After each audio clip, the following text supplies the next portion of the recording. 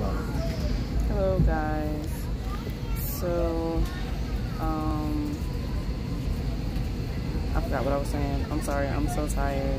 Uh, so the last video we had, we were um, actually on the cruise, which was two days ago. Fast forward two days later, we are now um, flying to Mexico. We're going to Cancun. Um, I'm so like tired, exhausted, like completely sleep deprived. We've been on the move for about three weeks straight now, literally, from housing arrangements to the cruise. And when you think that you was gonna get some sleep on a cruise, you really don't.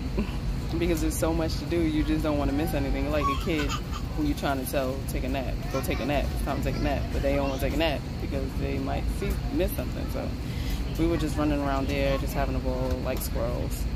Um, the, the children definitely had a ball. Oh my gosh. Um, I think they were a little bit uncomfortable because it wasn't, it was something new, one. Um, it took them a little bit out of their comfort zone and their element. Um, but once they got the hang of it, they kind of finally freelanced and went off on their own.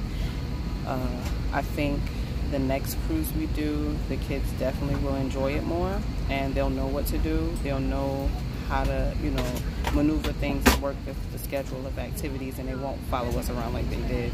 We literally, Frank and I literally uh, went into our stateroom at one point with our oldest daughter because she was just on our heels. And when she went to the restroom, we ran out the room and ran down the hall, the corridor, and just was, I don't know where we were going, but we was running.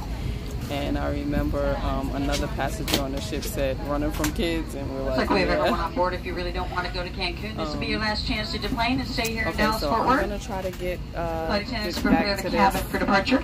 uh, when we get to Cancun, and I'll finish this. I'll, you know, go ahead and continue. But I just wanted to let you guys know that we're on a plane. We're going to Cancun from uh, the cruise. Two days later, we're sleep deprived and just ready to just wanted to sleep. We have I'm closed that sleep for a aircraft door. Please turn off and stow any laptop computers. All other electronics must be in airplane mode until we've landed. Flight attendants prepare for departure and cross check.